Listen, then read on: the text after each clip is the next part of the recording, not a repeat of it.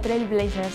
Hemos tomado el relevo de nuestros compis londineses Dani y Sibi para traeros unos episodios muy especiales aquí en Madrid. Hemos recorrido toda España para traeros a tres jóvenes emprendedores cuyas empresas están usando la tecnología para el bien social. Vamos a hablar con unos milenios españoles cuyos proyectos podrían revolucionar cómo vivimos nuestro día a día. Vamos a meternos a fondo dentro del mundo de recursos humanos y cómo encontrar nuestros líderes de mañana con un simple test de 6 minutos huertas urbanas, es decir, la fusión entre la naturaleza y la tecnología y finalmente una nueva forma de aprender idiomas trayendo, por ejemplo, un pedacito de Nueva York o París a Madrid. Vamos, que con estas empresas los idiomas no se aprenden, se viven. Vamos a arrancar con Milingual, la forma más innovadora de aprender y vivir los idiomas que está revolucionando Madrid. ¿Cuántos de vosotros habéis intentado aprender un idioma con una app o un libro, pero no habéis llegado a manejar el idioma como queríais? Inmersión total es la única forma de aprender bien un idioma, pero ¿cómo hacer esto sin dejar de lado tu trabajo o tu familia?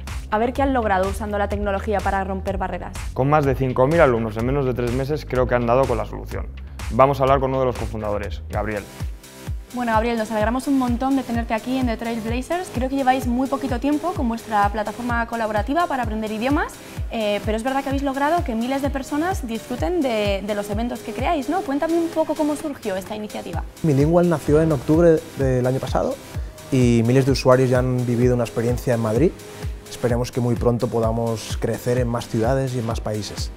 Milingual trata de ofrecer esta solución muy social de poner en práctica los idiomas siempre con la figura de los profesores, que son los líderes de esta conversación, y en locales con encanto de la ciudad. Y cuéntame un poquito más cómo son estos eventos. Milingüe hemos apostado por grupos reducidos y siempre organizados por niveles, que es una de las claves. Cada día hay una temática de conversación diferente. Luego también organizamos otro tipo de eventos, como son un cineforum en versión original, eventos de cocina, incluso tenemos una galería de arte. Qué chulo, ¿no? Porque entonces eh, al final es todo un intercambio cultural que estáis utilizando además internet, ¿no? Un poco la tecnología para llegar a más personas y luego aparte con este componente social porque al final estáis creando un poco una comunidad, ¿no? Así es, la plataforma tecnológica es clave que nos permite gestionar todas las sesiones. Ofrecemos esa posibilidad tanto a profesores y locales que ellos también puedan crear sus propias actividades y tener una nueva forma de, de, monetizar a su clientela. Bueno, creo que tiene también mucho que ver con una metodología un poco particular que utilizáis, ¿no? Bueno, nosotros creemos en el método natural, es decir, en vivir esas situaciones normales y cotidianas uh -huh. para poder practicar el idioma. Por ello no tenemos ni libros ni exámenes, simplemente eh, la conversación y la figura del profesor que es el, el guía de esa, de esa conversación. ¿Y qué planes de futuro tenéis para Milingual? Creemos que nuestra plataforma colaborativa puede ampliarse a cada vez más eventos y de este modo pues dar esta, esta forma muy flexible de, de vivir una experiencia con el idioma. Bueno, al final con la tecnología estáis consiguiendo un poco llegar a todo el mundo, ¿no? El, la plataforma y la tecnología nos permite exactamente pues, poder organizar eventos en diferentes ciudades y en diferentes lugares. Bueno, y esto lo montasteis dos hermanos, ¿no? Creo que además visteis como un cambio a, a tu vida, ¿no? ¿Me han contado? Cuéntame, ¿cómo, cómo Sí, emprender en familia es, es toda una aventura. Eh, mi hermano él, él es la que dirige la parte tecnológica del proyecto, con lo cual es clave. Yo soy ingeniero, estuve seis años trabajando en el mundo nuclear y, y di un cambio a mi vida eh, cuando decidí apostar por este proyecto. Bueno, gracias Gabriel por haber estado con nosotros. Muchísimas gracias y María, espero verte en cualquiera de nuestros encuentros aquí en la ciudad de Madrid.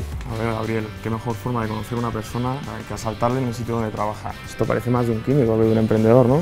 Sí, bueno, yo soy ingeniero y, y esta es mi, mi, carpeta, mi libreta del día a día, donde anoto todas las acciones. Luego los cascos para aislarte y concentrarte, ¿no? Bueno, yo trabajo con música. ¿Y qué música escuchas? Cuéntanos un poco. Pues estaba escuchando Coldplay. ¿Quiénes sois?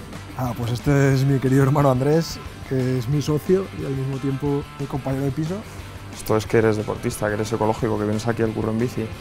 Sí, la verdad que el poder estar aquí en Gran Vía y, y, venir con el transporte público, en este caso con la bici, pues es un, es un lujazo. Qué interesante el concepto que ha creado Gabriel con su hermano. A ver qué les depara el futuro a Milingual. Sí, ahora vamos a hablar con una de las cofundadoras de Talent Talk, Rebeca. Ella ha ayudado a formar una empresa que cambia cómo las compañías se relacionan con sus empleados. Con su equipo y tras un periodo de tiempo en Harvard, han perfeccionado un algoritmo que cuantifica la cultura de una empresa. Sí, los fundadores de Talent Tank han elaborado un simple test de 6 minutos que se puede hacer por internet para ayudar a las empresas a recopilar la información sobre las personalidades de sus empleados.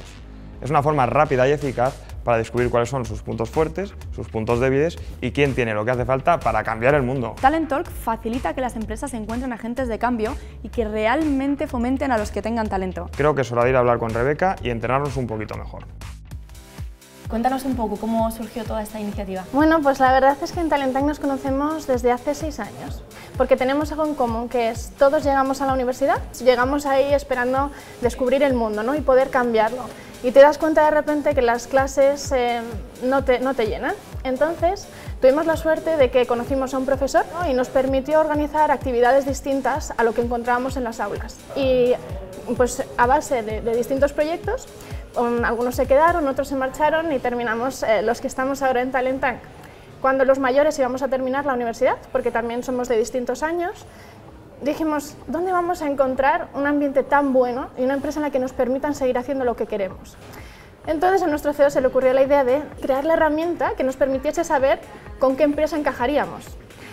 Y empezando a crear esa herramienta dijimos, ¿por qué solo para nosotros? ¿Por qué no abrimos esto al mundo? ¿no? Y decidimos crear la empresa y así es como empezó a talentar. Claro, porque bueno, al final eh, creo que tiene mucho que ver un poco con el espíritu de los millennials, ¿no? Esto de querer cambiar el mundo y además un poco buscar el talento de mañana, ¿no? Creo que en esto también estáis enfocados. Desde luego, porque al final tenemos una vida, ¿no? Entonces, los millennials creo que es todo sobre vivir como tú quieres. ¿Por qué no va a ser posible? ¿Por qué no voy a poder cambiar el mundo? ¿Por qué no puedo ser político? ¿Por qué no y con el por qué no y esa energía que tenemos y que nos caracteriza, quizás el atrevimiento también, ese, es lo que define el nuevo talento en el mundo y es a lo que nosotros pretendemos eh, dar hogar en las empresas, que se den cuenta que lo que viene y, saber cómo encajarlo también en su día a día.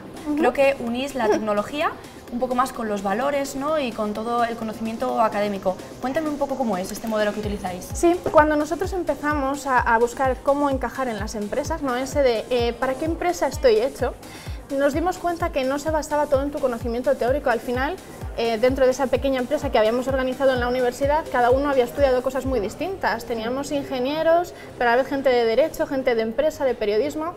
Entonces, la tarea en sí no era lo que nos definía, ¿qué era lo que nos unía? Una visión del mundo. Y descubrimos dos cosas. Una, a Holland, que lo que dice es, cuando estamos rodeados de personas que comparten nuestros valores, estamos más comprometidos, más motivados y por tanto somos más productivos. Y entonces descubrimos a Shane, que es el padre de la cultura corporativa. Shane nos dice que la cultura es como un iceberg entonces, digamos que en la punta del iceberg, que es lo que más se ve, están eh, esas cosas que se manifiestan, manifiestan. Y eso tiene que estar basado en unos valores declarados, que son los famosos bullet points, ¿no? Eh, la valentía, la creatividad, la disrupción. Pero todo eso tiene que estar basado en una base mucho más fuerte y mucho más amplia, que es la que no se ve, la que está por debajo del mar. Y esos son los valores que compartimos los empleados de la empresa, que al final es lo que hace que una cosa sea válida o no en ese entorno. Entonces eh, la siguiente pregunta era cómo hacemos para obtener esta información y así es como dimos con el test de Talentank, que lo podríamos denominar el extractor de valores y un procesador. Y entonces poder decirle a las empresas cómo es su gente y cómo tienen que hacer las cosas para que encaje con ellos. O sea, que digamos que al final la tecnología es un poco la que os ha ayudado a, a enseñar esto, ¿no? Evidentemente. En el mundo de los recursos humanos hay dos problemas principalmente. Uno es que en una empresa con 1.200 empleados es muy difícil que te sientes con cada uno de ellos para preguntarles ¿no? qué valoran, cómo son. Y el segundo es que hay muy pocos indicadores que te permitan monitorizar y darle un rigor científico a esa información. Y es lo que nosotros hemos pretendido aportar. Primero, a través de ese test, con una experiencia de usuario muy cuidada, eh, que nos permita sacar la información de la mejor manera posible y lo más rápido posible de todos los empleados. Y por otra parte, con el procesador, que le da pues, un algoritmo matemático, un rigor estadístico y por supuesto el Machine Learning y el Data Science, que nos ayudan además a inferir cosas que ahora mismo a, a plena vista no se ven. Bueno, Rebeca, pues eh, muchísimas gracias por haber estado con nosotros. Me resalta un montón las letras doradas de este cuaderno que me parece precioso. ¿eh? Este cuaderno en concreto eh, lo compré en Estados Unidos. El eslogan es muy representativo de, lo, de, cómo nos sentimos nosotros. ¿no? El mundo está por delante, podemos hacer lo que queramos. Esas chapas son tuyas de Estados Unidos, de Boston, de Nueva York, sí. de Harvard. Sí, justo, también son de, de, la misma aventura, ¿sí? ¿Y estos dos señoritos quiénes son? son... ¿Nos puedes contar de ellos? Son los avatares de, todo nuestro pitch. Este es Joy y este es Jay. Y esto que me encanta a mí como madrileño, la taza de Love Madrid. Pues mira, estuve viviendo en París durante un año Y cuando llegué, abrí la maleta y estaba esta tacita. Y entonces con una notita de mi madre que decía, para que no olvides dónde está tu hogar. Te hemos removido todo, lo hemos dejado bastante ordenado. Y nada, encantado de, de conocerte, Muchísimas Rebeca. gracias a ti, Jaime. Venga, un besito. Hasta luego.